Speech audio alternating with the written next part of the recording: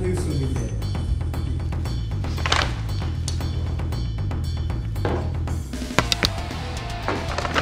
うん。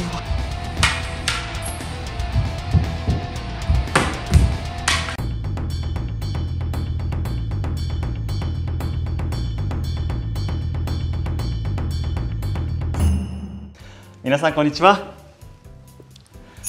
今ですね5種類の刀を前に並べさせていただいてるんですけれども過去にすでにまあ担当の技脇差しの技打ち方の技また大出しの五尺刀の紹介とさせていただいたんですけれどもこれでこうバラバラで動画で紹介しているとあのこの刀とこの刀は実際どのように違うのかとかこの刀ってじゃああのこうこういうふうな別の呼ばれ方はないのかとかいろんな質問をいただいておりますのでちょっとこの動画ではまとめてあの刀の種類というものにフォーカスして皆さんの質問にして答えていきたいなというふうに思っております。はい、よろしくお願いいたします。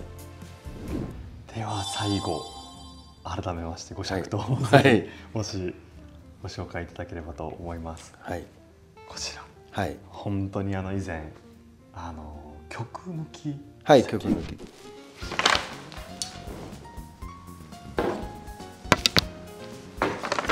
うん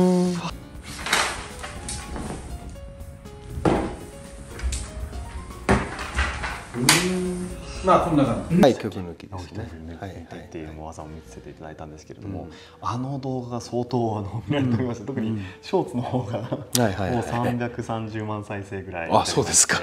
そうなんです。その影響でこの五尺刀に関してはもう本当にたくさん質問が来ておりまして、まずこの五尺刀っていうのは大立ち野立ちではないのですかという質問が多いんですけれども、うんその分類には入りますか、入りますね。入りますその分類ですね。でもともとは上等人っていうのがいたんですよ。杖の刀の人って書く。要するに鞘をかけずに幅木元に縄を巻いてうん。そこを握れるようにしてむき出してついて歩ってて。すごいでそのまま戦えるっていうね。あのほら新影流さんでそういう型やっておられるでしょ。こう長いので幅木元に縄巻いてこうやって型打たれてる。私見たことあるけど。あれ多分そういうものですよね。幅木元握ってんですよ。なあのロープ巻いて。そうそうそう。あれ多分上等人がいた時代の技じゃないのかって私は思ってるんですけどね、なるほど、なるうんで鞘をかける場合ってのは人連れて歩くんですよ。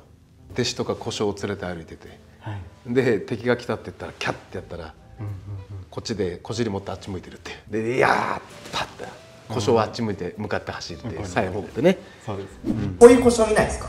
こういうああありますよね。横で待機してるようなそうです。こういう故障がではい勝負様がいて、で前から敵が来たっつったらこうなるわけ。でこうああで後ろ向いて。こうなる。でこれで後ろ向いて。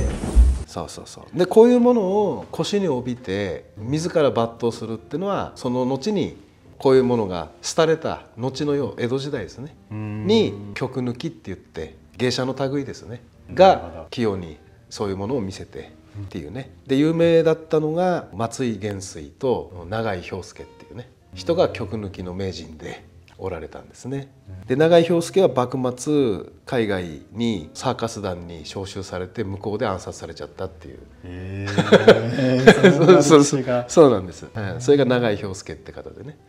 でこれを大立ち野立ちに入るということはもともとは太刀という分類に入るってことですよね。打ち方なんでこんな長さはないないですね。その実際故障を連れていて弟子というか人たちが鞘を取ってくれてっていうのは戦闘の状況としては戦場っていうことになるんですかね？戦場ではないですね。ああそうふ日頃ですね。ああ日頃こんな長いものを、だからあの時代であれば。柳生田島の神はそれ持って歩いてたっていうね。うーん。故障を連れて。だからこんな話残ってるんですその家のね中間がで庭生えてたりするじゃない。うんうん。で玄関先ひょいって覗き込んでこれが立てかけてあるとあ柳生様がお見えだっていうね。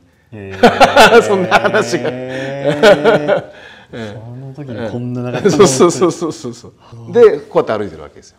うんうんで来たって言ったらお月が鞘持って向かい走るっていう。っていうね。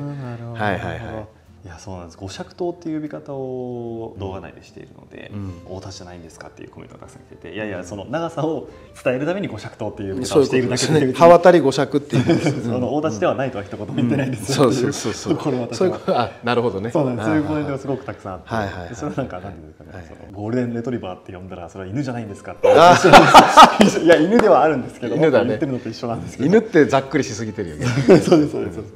だからそれだと大立ちも長さがねいろんなものがあるのでこの場合はこれは五尺刀ですっていう 説明と一緒のことなんですねあともう一つすごくよくあった質問が、はいはいこれ、はい残馬刀ですかっていうのもすごく多かったんですよ。うんあのね商品名としてねザンバ刀って売られてることがある。あーなるほただあくまで商品名ですよ。残馬刀って日本のものなんですかそもそも。ああでもどっかから渡ってきたような気がするけどね。うーんただ馬を足ごとないじゃうっていう。そうですそうですそうですそうです。まあ合力武芸者一部の合力武芸者が使ったもんで凡庸性はないやね。なるほど。使った可能性があるっていうぐらいで、昔はね合力武芸者ってねいたから丸田んぼ担いでって門破っちゃうとかさ。とんでもない人い いたからね。そう俺たちが使ったかもしれないかもしれない少なくともこれはそうではない。これはそうではない。こんな品のいいもんじゃないですよ。絶対そうですよねそれこそあのショーツの時にちょっとちらっとお話した金棒だったりとかそういうものに分類されるような日本のいわゆる日本刀の分類に入るようなものでは絶対ない。ですよねそうですよねだからああいう金棒も本来の目的は物を壊すためだと思うんですよ。だからあの残ってないんだと思う伝承として。たまたまそばにいた人間もぶっ飛ばしちゃうっていうだけであって。吹っ飛ばしちゃう。なんか門ぶっ壊すとかさ「それ攻めろ!」っつった時に最初に行って門ぶっ壊す人が持ってるとかそういう話だと思いますよただ5のものでしか使えないっていうだけでね。それは武道ではないです武道ではないですね。はい。はいはい実際どうなんでしょう大立ちを馬の足ごと切るために使うっていうことはあったんですかね、まあできますよね。可能性としては。うん、長くてね重たいものってのはね棒術をね伝承されてる方だったらすぐ理解できると思うんですけど、はい。ひょいっとね下に入ってね肩口でグンってほぐるとブンって飛んできますから。あ。ペコの応用でね。そういう使い方。そうだからうちの棒術ですね砕きって言ってねここにこういうふうにしょうんですよ。振る瞬間に手で振らないで肩口にスライちょっとずらすんですよ。それでここ使ってブワッと振りますんですよ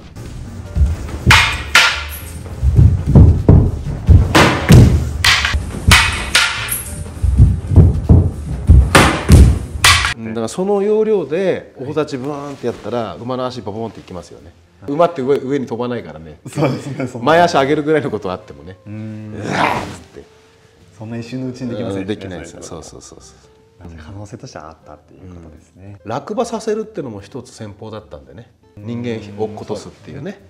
だから馬の足やっちゃえばもうひっくり返りますからね。うんそうですね。そうそうそうまあそうしかそうそうない落ちるしか。槍の棒みたいなのにこんなちっちゃいねこんな鍵がついてる道具もあるんですよ。あれはね馬の下にいるやつがね甲冑武者引っ掛けて引きずり下ろす道具なんです。なるほど。それで落とされたらたまったもんじゃないですたまったもうもう立ち上がるまでにもそうそうそうそう。あされますよね。そう。